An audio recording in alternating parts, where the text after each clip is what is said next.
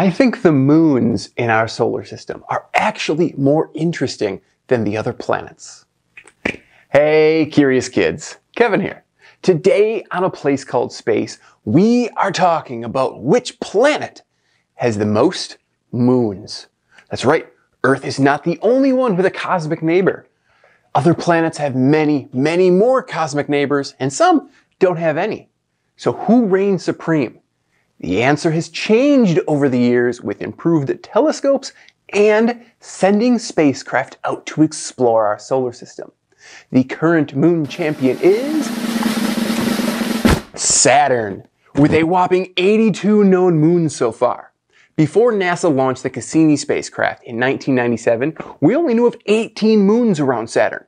Back then, Jupiter was the moon champion. But in October 2019, Saturn's moon discovery grew to 82, surpassing Jupiter's count of 79. So what about the rest of the planets?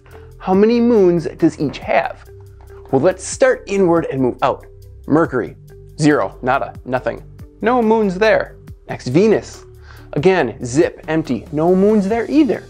On us at Earth with one moon. Moving to the last rocky planet Mars, there are two, Phobos and Deimos. And we believe that Phobos will eventually break up and form a ring around Mars. How neat is that?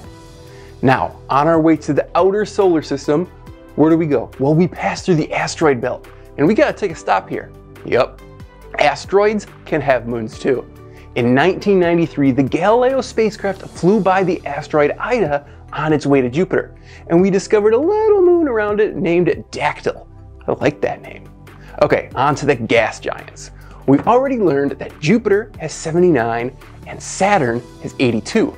The ice giant planets Uranus and Neptune have a good amount of moons too. Uranus comes in with 27 moons and Neptune holds 14 moons. But wait, we're not done yet. Mm-hmm. Pluto. The dwarf planets can also have moons.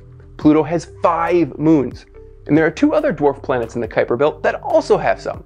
Eris has one moon and Haumea has two moons. These are the counts as of July 2021, but they can change as we are constantly exploring our universe. Always be curious.